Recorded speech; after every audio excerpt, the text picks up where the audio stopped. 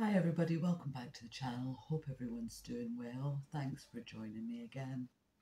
So, I'm still a little bit sore, so I'm doing this video inside as well again today. I have been going out, but they're just very gentle walks. I can't really hang about when I'm out until I've fully recovered. But today I'm going to talk about the things that we tell ourselves. So, we tell ourselves I'm like you and you're like me. What we believe in our thoughts and in our feelings about everything is how we behave in the world every day when we go out and about. And we're teaching others to do the same. So if we're angry and we're irritated, we're teaching the people that we come in contact with to do the same thing. Because whatever influence you put on another person, then you will bring that out in that other person. So if you're interacting with people in a loving and caring way, then you will bring that nature out in them. So it's a very important thing to realize that every time you interact with someone, the way that you interact with them is teaching them to interact in the same way. And the only way that they won't respond in this way is if they're very, very aware of who they are and in what you're doing. Now, most of the time, this is done unconsciously, but someone who is very aware and very awake will see that within us. So they would respond in a different way. But the majority of the time, people who really have a false sense of identity will then just react in the same way you're reacting towards them. They won't be able to come above it. Just in the same way, if we are unaware and someone approaches us in a certain way, then we will be taught to react in that way. And if you think about incidences that you've had if someone approaches you in a loving way, it brings out your loving side. If someone approaches you in a hostile way, it brings out your defensive, hostile side. But at the time, we don't understand that we're teaching each other because most of the time it's very quick response and we don't think about it. Maybe later on we might think about the reaction, but at that time it takes someone who's very, very aware of who they are to not respond. And so every time that you approach someone, you're giving them a demonstration of behaviors. And if they are open, they're going to learn that behavior and then they're going to demonstrate it. Maybe not necessarily towards you, but they might do it then towards someone else. And whatever is in your mind that you're focusing on, that is the behaviors that are going to come forward in your interactions. So if you're feeling insecure, you're feeling vulnerable, you're feeling angry, that is what's going to come to the forefront with any given interaction first. So it's important to think about this.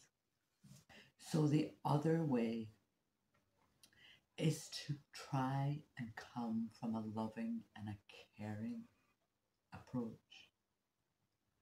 This alternative way then demonstrates care and compassion towards the other. And then this is what you will bring out in the other person. Now, it can be a big ask for people because, as I stated before, most people run on automatic pilot. So it takes practice and it takes awareness of what you're thinking to be able to do it and consistently do it over and over.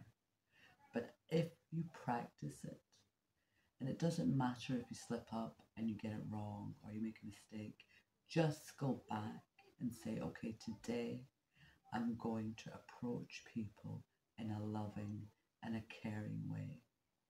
And then the more and more you do it, the more it'll become ingrained in you as a person. And you'll feel so much better. And you'll have such much better days, and so will the people around you.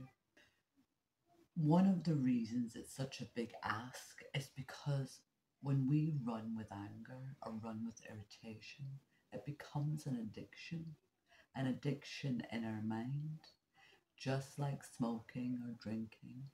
It becomes a psychological addiction that we get addicted to and just run that pattern all the time.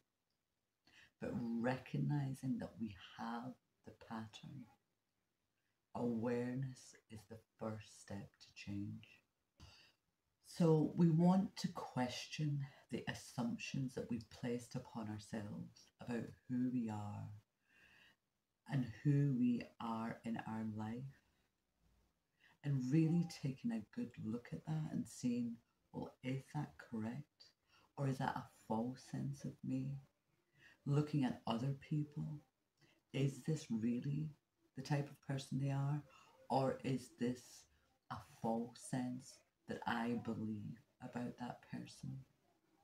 And this is a step to change because anger and irritation usually comes because we have a certain assumption about somebody that might not necessarily be true because you run this addiction pattern so you think everybody is the same but in most cases it's a false sense of the others. We all have that truth within us.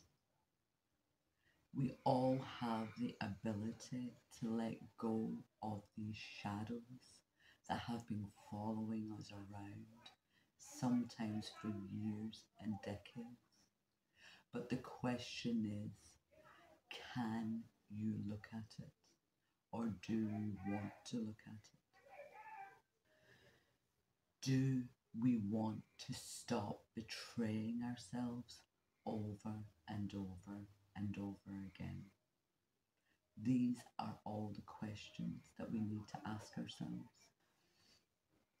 And when we look at it, this will bring us back into harmony and it will bring back your sense of security and safety because feeling insecure and unsafe in your world leads to those destructive type behaviors. It also separates us from ourselves and from others and from the world. Whether it's when we look at it, it brings us back into connection with others and the world again. And most importantly, connecting back to who we are we can start to see that others are in fact a lot like us. And this is one of the reasons why we get triggered by other people. But we get triggered because we see something in them that we don't like about ourselves. But once we understand that that's something within us that we need to heal, you can then start to see the others in a very different way. When you come across a person, you will see how much you are like them rather than pushing them away as separate from ourselves. Then that fear that you have when you see some something in someone else will disappear because you will realize it's a fear within you that you need to heal and that it's actually nothing to do with that other person. Now, they might have that within them, but that's not your job. They have to figure that out for themselves the first instant is for you to be aware of it and for you to heal it.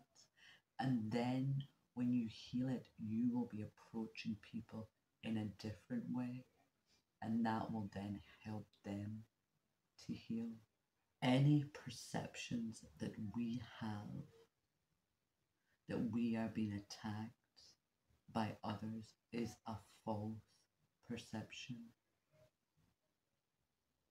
And it's self defeating to ourselves and to everyone else.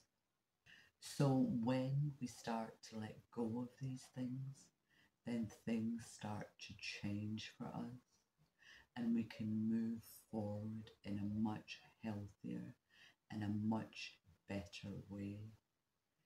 And not only does it benefit us greatly, it benefits every single interaction that we have from then on.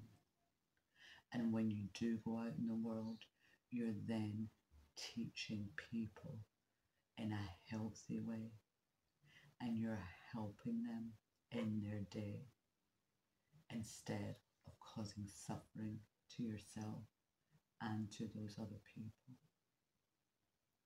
So until next time, thank you for watching and take care.